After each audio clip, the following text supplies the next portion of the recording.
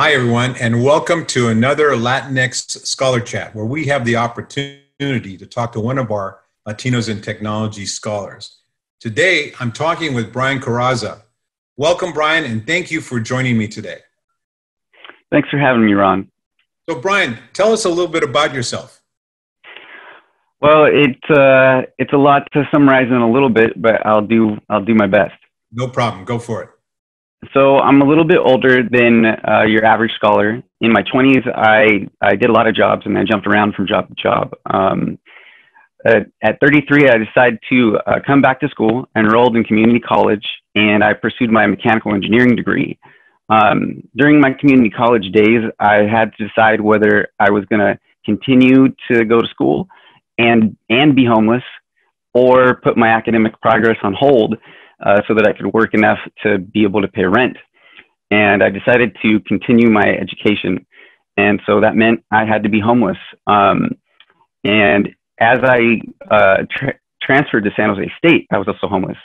Um, in that time period, I learned about the Latinos in Technology Scholarship and the Hispanic Foundation, and I applied and I was awarded the scholarship. Um, while it wasn't enough money for me to afford a place to live, I was able to prepare for living in an apartment after after two years. So uh, today, I'm grateful to be employed by Applied Materials as a product line manager, and uh, I'm a proud uh, graduate from San Jose State as a mechanical engineer. All right. Well, Spartan up, as they say. Uh, yeah. Thank you for sharing that, Brian. Now, what is it you would like to achieve in your career now that you're out in the job market? Well, I'm most passionate when I'm able to be an agent of change. Uh, I really like enjoying improving processes um, or creating them where they're missing. Uh, while my initial direction was mechanical engineering, um, I've found that I really enjoy data science and, and coding. Uh, I'll be seeking a graduate degree in that new direction. That's wonderful. That's wonderful. You know, what we're learning more about our scholars is that more and more of them are pursuing graduate degrees, and that's great. Well, thank you. Um, so, Ron, I have a question for you. Sure, go ahead. So, I've been reserved about uh, my experience of being homeless and and and kind of not taking a traditional route to college, and I've been hesitant to share my story uh, with with colleagues or peers. Um, what would you recommend my approach should be uh, about this topic? Well, that's a great question, and thank you for thank you for asking for my advice. Now, I think the thing we are learning more and more is that the standard route that students have taken in the past to get a four-year degree and then pursue possibly a master's degree is very, very different these days.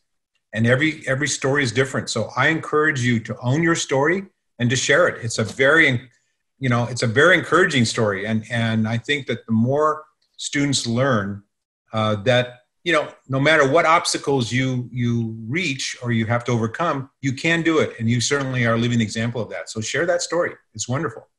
Thank you. You're welcome. Now thank you um, for taking that courageous step forward. Now let me ask you this. If if we had a chance to have you stand in front of our latinx youth these you know middle school students high school students what would you say to them? So as a returning student I, I felt like I had a different perspective than maybe some people coming through the first time.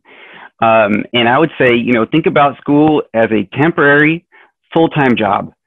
Um, use it to find out what you really like and and think about it well it's going to increase your career options this was my perspective going through and i found it to be really beneficial last thing i would right, say would be right.